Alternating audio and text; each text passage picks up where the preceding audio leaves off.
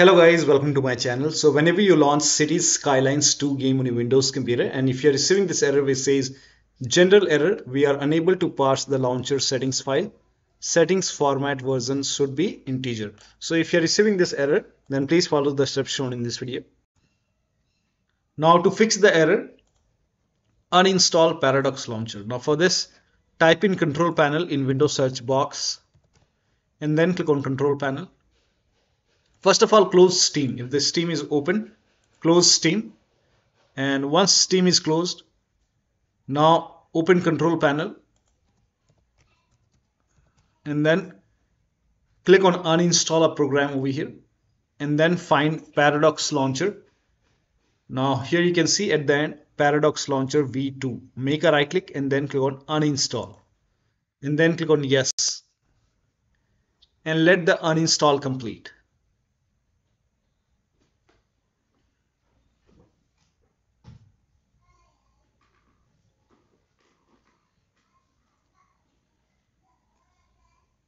Now after the uninstall, once uninstall is complete, go to these locations. So open File Explorer, go to C drive. So this PC C drive, open users folder. Now open your username folder. Now open app data folder. Now if you don't see app data on the top, click on view, select show and then put a check on hidden items. You should be able to see app data. If you have Windows 10, somewhere over here you will find the view option click on view and then somewhere over here you will find the hidden items box. Put a check on hidden items you should be able to see app data folder open app data folder. Now open the local folder. Now over here find paradox interactive folder. So make a right click on paradox interactive. Make a right click on paradox interactive and then click on delete. Now once this is done go back. This time open local low folder and find if there is any kind of paradox launcher folder. In my case, it's not there. Go back. Now open the roaming folder. Now over here also, if you find paradox interactive, make a right click and then click on delete. Now go back, open the local folder once again, and then find programs folder, open programs. Over here you also you will find paradox interactive folder, make a right click, then click on delete. Now once you delete it, now you can restart your computer. Make sure that you restart your computer after this.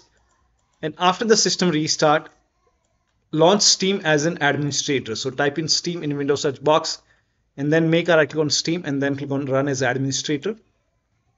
Click on yes to allow and let the Steam load.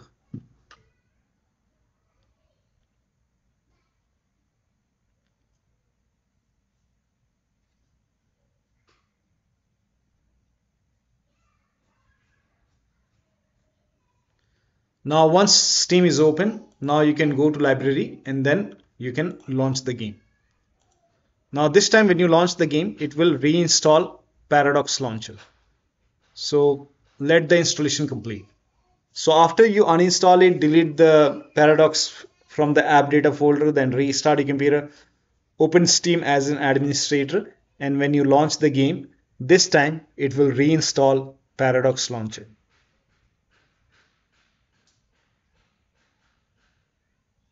So here you can see it's uh, installing Paradox Launcher. And once that is done, it will open the launcher and then you can launch the game. You should not receive the error anymore. But still you're facing the problem. In that case, you can close still if still you're facing the problem in that case you can close paradox launcher and then you can verify the game file. So make a right click on the game, select properties, go to the install files tab and then click on verify integrity of game files. After the verification, launch the game. Now, even after the verification, still you're facing the problem. In that case, you can uninstall the game and reinstall the game. So you can uninstall, after the uninstall, restart your computer and then reinstall the game. So one of the steps shown in this video should help you to fix the error. So that'll be all. Thank you so much for your time and please like this video and subscribe to my channel.